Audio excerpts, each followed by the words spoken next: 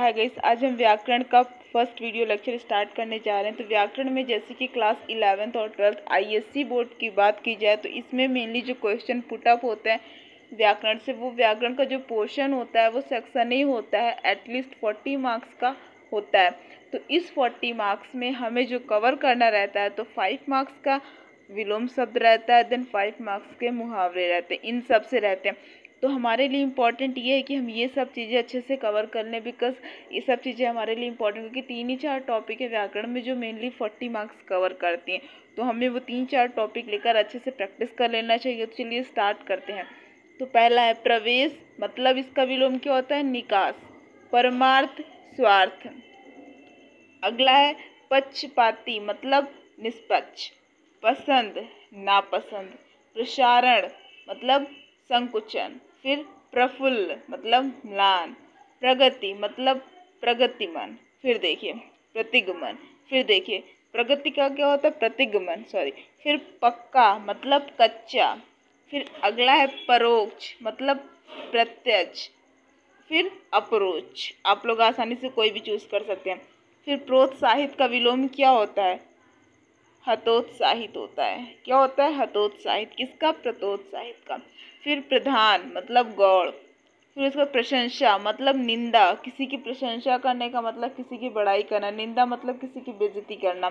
फिर उसके बाद प्रत्यय मतलब पहले, अप्रत्यय मतलब पीछे। प्रभु मतलब व्रत पवित्र, अपवित्र। फिर पुरोगामी मतलब पश्चिगामी फिर परिमित मतलब इसका क्या होता है? परिमित का परिमित का होता है। हमारे परिमित जो वर्ड है, देखिए, परिमित क्या होता है? परिमित का होता है अपरिमित। फिर उसके बाद परि, फिर परिणत का क्या होता है? अपरिणत। फिर पूर्ण मतलब अपूर्ण इनकम्प्लीट पाच्य मतलब अपाच्य, पठित।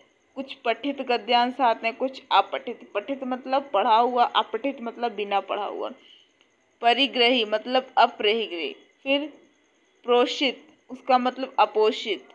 पृथक मतलब संयुक्त। पारितोष मतलब दंड। परा मतलब अपरा। पेय मतलब अपेय। पूरा का होता है अधूरा इनकम्प्लीट पैना मतलब भोथरा फिर उसके बाद पूर्ववर्ती मतलब परवर्ती, उसके बाद। परिहार्य परिहार का आप लोग अपोजिट कर सकते हैं अपरिहार्य पटु मतलब अपटु। पतन, उत्तान पतन। उत्तान का क्या होता है? पतन। फिर उसके बाद परिष्कृत मतलब अपरिष्कृत। फिर उसके बाद पार्थिव मतलब अपार्थिव। पाक, नापाक। फिर अगला है पाप मतलब पुण्य। फिर प्रगलभ मतलब अप्रगलब फिर प्रतिष्ठा, फिर अप्रतिष्ठा। प्राय मतलब बहुआ, बहुधा। उसके बाद प्रीति मतलब देश। प्रौढ़ मतलब अप्रौढ़। फिर प्रतिपन्न मतलब अप्रतिपन्न। प्राकृतिक, फिर उसके बाद अप्राकृतिक। पक्ष, किसी का पक्ष लेना, किसी के खिलाफ मतलब विपक्ष। पात्र, कुपात्र। प्राचीन, का मतलब पुराना, आधुनिक मतलब नया। हम लोग जो जी रहे हैं, वो आधुनिक है। पावन अपावन सो आई होप कि आपको समझ में आया होगा। So thanks for watching will meet on the next video with other vilom so bye take care